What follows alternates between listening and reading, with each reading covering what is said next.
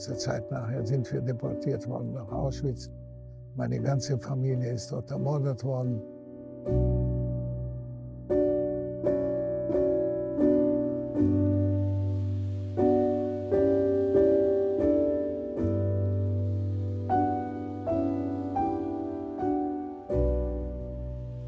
Diese ganze Verfolgung und dieses Jahr in Auschwitz und in Dachau und in Kaufering, das hat mich irgendwie seelisch vielleicht, ich konnte nicht mehr reagieren wie ein normaler Mensch.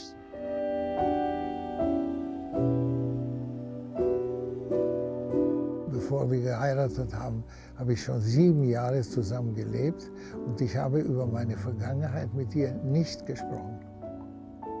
Das ist etwas, was, das ist manchmal äh, fühle ich das so, als ob das in Beton versenkt worden ist in Zement.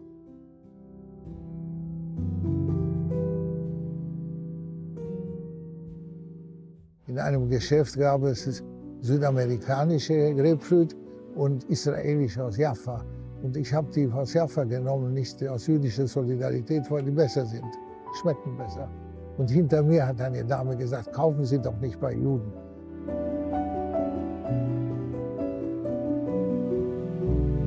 Ist es schon gut, dass in den Schulen, in den Geschichtsbüchern das gewürdigt wird.